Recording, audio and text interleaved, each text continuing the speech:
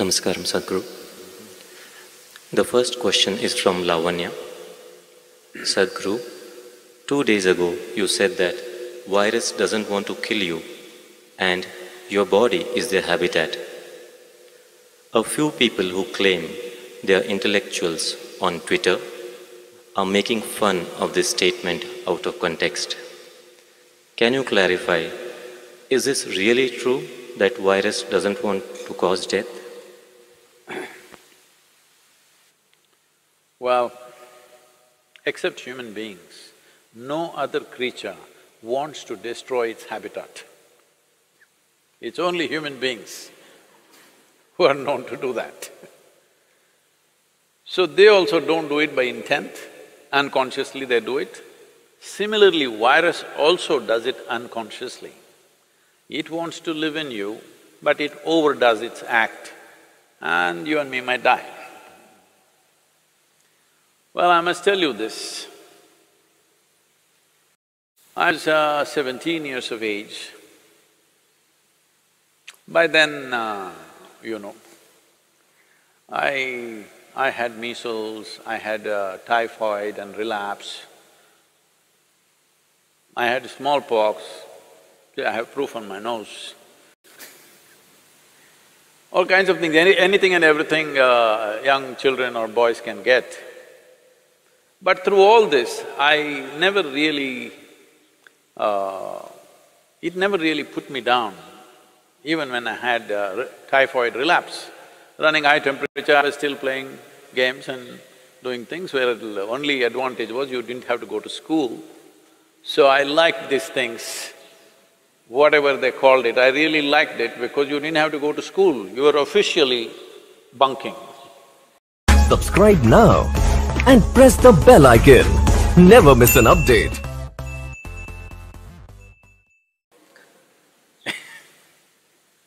But when I was seventeen, I got a cholera. But I saw this damn thing. Within two hours after I realized I have this, it just knocked me down cold. Well, I'm like almost unconscious. I hear my mother, my grandmother all crying, oh, we lost the boy, we lost the boy. And uh, my grandmother is feeling my nose, my God, no, the nose has gone cold, he's finished. Everybody's crying and my father is like, he's a doctor, he's trying to do whatever he can. Then two more doctors came and really I was just passing out completely, just within two hours. But uh, by next day evening I sat up, the second day I got up and started moving out, they said, you cannot move out and they locked me up in the room. But I said, at least let me be on the terrace so that I can move around a little bit. Then they let me be on the terrace. Then this bothered me, some… Till now, many things I had, I enjoyed them because they prevented me from going to school. But here this damn whatever knocked me down in such a way that I almost died. So I wanted to know something. These are not the days of uh, internet and Google, you can just ask. So I went into the school library and uh, inquired with the librarian and uh, she gave me a book on pathogens. I had not heard that word till then because I rarely went to the biology class.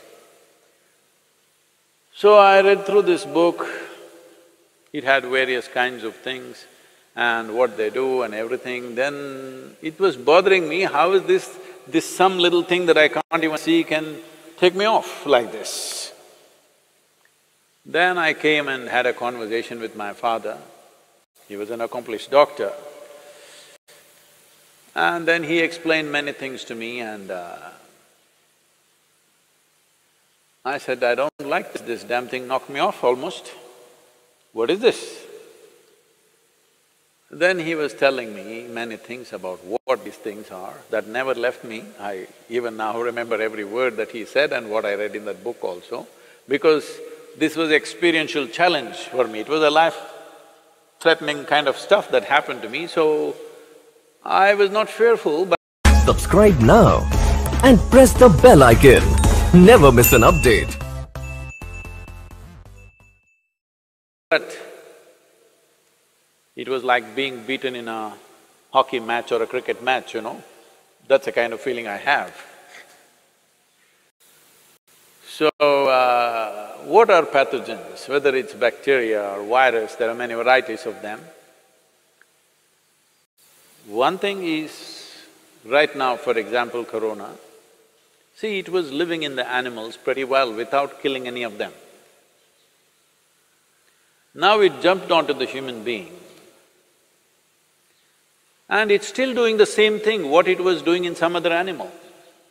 But we are not able to withstand and we are collapsing. Well, that also has been clearly established now. Most human beings whose immune systems are good, they are recovering. But those who have a weaker immune system are unfortunately becoming victims of this. What does it say? It simply says that it wants to live, but it lives so aggressively that we may die. Well, many scientists are talking about it, but even what I read at that time, I was only seventeen, I want you to remember this. Even then, it was explained, I don't remember the author's name, otherwise I would have quoted this. Uh,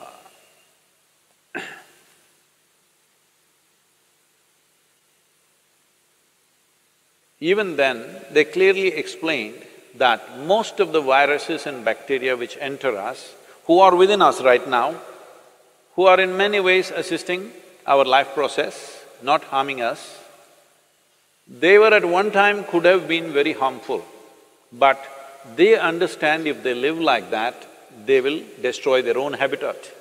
So they will mutate into something milder over a period of time and then learn to live with us. They were living with other animals comfortably, other animals survived comfortably with them. They were also… this is the nature of life, that one inside the other, one inside the other, so many life forms, trillions of life forms are all living enmeshed into each other. We are also that. Trillions of bacteria and virus are living in this right now.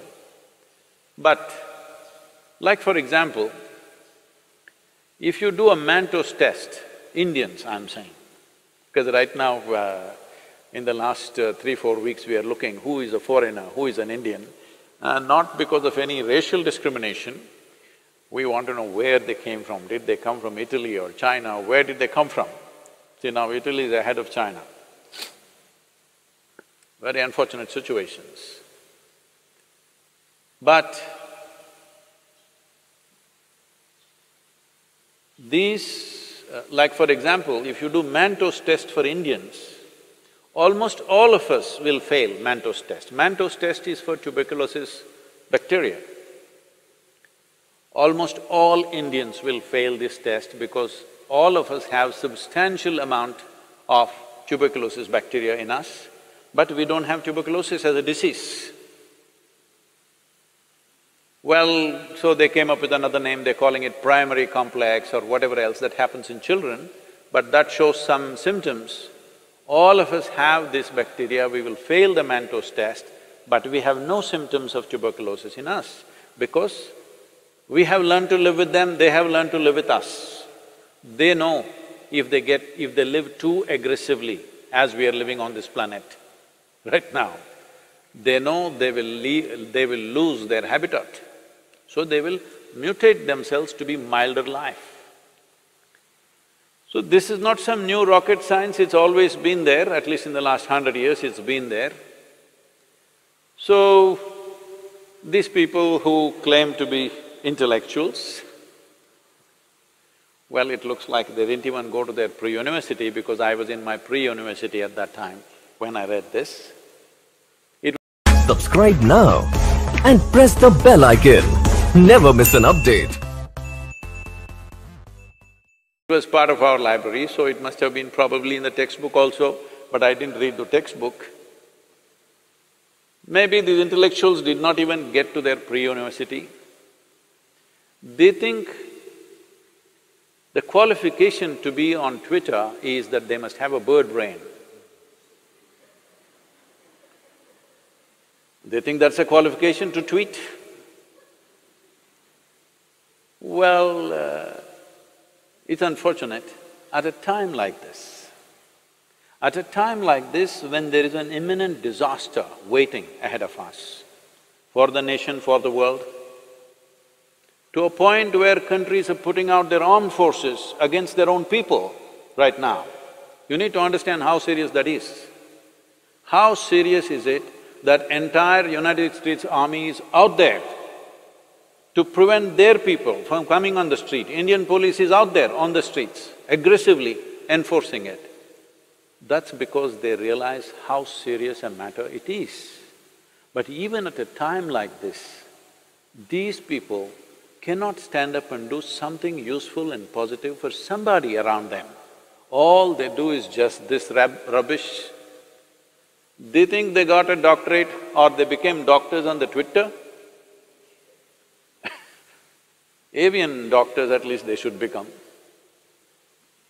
Well, it's very unfortunate, there is a segment of population which doesn't care what happens to people around them, which doesn't care what happens to the nation, it doesn't care what happens to the rest of the humanity.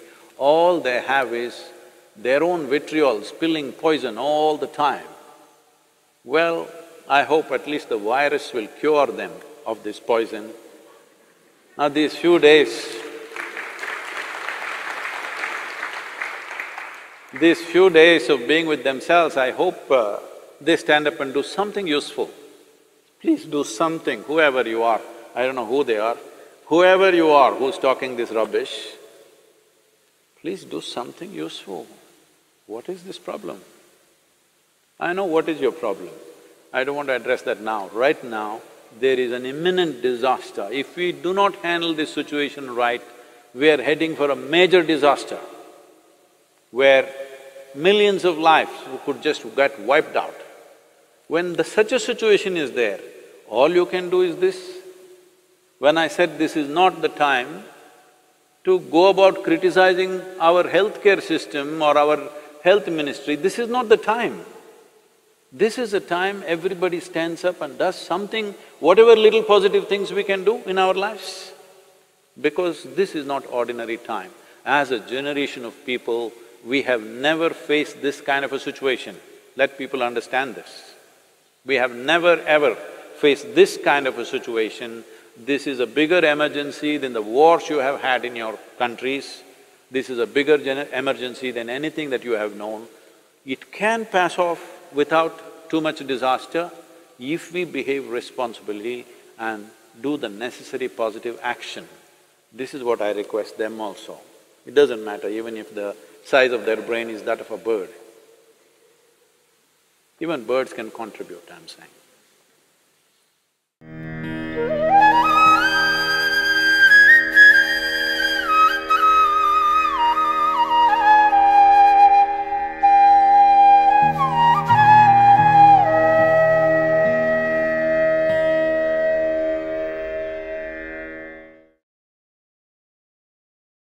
Subscribe now and press the bell icon. Never miss an update.